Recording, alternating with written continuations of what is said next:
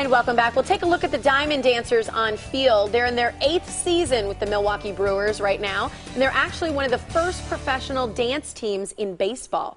Next month, they'll show off their moves in a big dance competition to raise money for pancreatic cancer. And Chelsea Bushman is the team's captain. She's here with Stephanie Klug, who used to dance with the team. She lost her mother and grandmother to pancreatic cancer. And Holly Ignatowski is also here. She's with Wisconsin's Pancreatic Cancer Network. Welcome, ladies. Thanks for being here. Thank you. So, the Diamond Dancers, I have to ask first of all, are you guys ever referred to as the Double Ds? I can't say we've ever been referred gonna be your as nickname now. that might at least. Yeah. Well, how did the organization come about, um, and how did you guys become dancers that uh, give to charity? Um, well, we started eight years ago. Um, our founder was Brianna Gasper. She decided to put a team together to dance for the Milwaukee Brewers. And it's just every year we get more and more involved in the community um, at the Brewers games as well as other charitable events throughout the season. Um, usually it's 20 to 30 um, community appearances that we do per season. Yeah, it's a big responsibility. I've judged the dance tryouts before, and it, it is something that you're asked and uh, put forth to, to say, you know, how involved with you, in the Right. community are you? How committed are you to being a part of the team? Because Definitely. it is a big commitment, and you truly care about a lot of causes, including the one um, that you're doing for pancreatic cancer. Yes. Why did you decide to host an event for pancreatic cancer?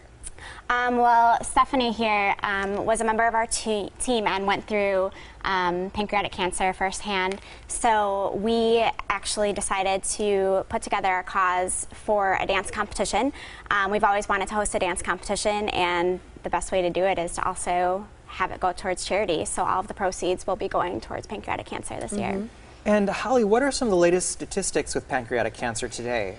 Pancreatic cancer is the fourth deadliest cancer of the major cancers, but it's also the least funded. It only gets about 2% of the National Cancer Institute's budget. And so we're working diligently to change that because the statistics haven't changed in about 40 years. It, uh, the survival rate is currently at 6%. It's the only major cancer with a survival rate in the single digits. Wow. It's you know it's sad to know that you lost your mother and your grandmother to pancreatic cancer. I think anytime a family goes through a tragedy, it's tough. Uh, I, I can imagine that you coming with a you know the Diamond Dancers and they're putting on this big event. I mean, how does that make you feel? What are your goals and what do you hope to accomplish at the event? Um, it just feels great that you have so many people behind you to support me and what I've gone through, and it's just great to like start raising awareness to everybody because, like she said, not a lot of people know about it. So to have this competition and to raise awareness and money towards the pancreatic cancer is just awesome. Well, and it clearly needs it. I mean, Holly, and this just you just gave us staggering. It's very dis- uh, like upsetting. How are how can people donate? How can how will this competition? What do you how much do you hope to raise, and how can people donate if they can't attend? Our goal is ten thousand dollars. Um, we right now are just looking for teams to register.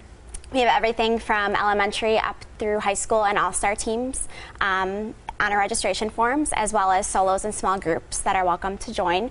Um, and also, um, you can also donate by putting together a basket for our silent auction that we'll also be hosting there.